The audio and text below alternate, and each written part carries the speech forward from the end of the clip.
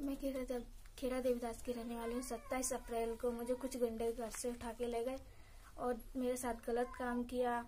जहाँ तक कि छेड़, गलत काम किया और जहाँ तक कि पुलिस वालों ने मेरा मेडिकल भी नहीं कराया। योगी जी, मोदी जी, मुझे इंसाफ चाहिए। इंसाफ ना मिला तो मैं आत्महत्या कर लूँगी। और जहाँ तक कि आज तारीख छः और छठा महीना हो चुका है, अभी तक ना मुझे इंसाफ नहीं मिला। योगी जी, मुझे इंसाफ चाहिए। जनवाद टाइम्स की सभी खबरों को लगातार देखने के लिए चैनल को लाइक, सब्सक्राइब और शेयर ज़रूर करें। धन्यवाद।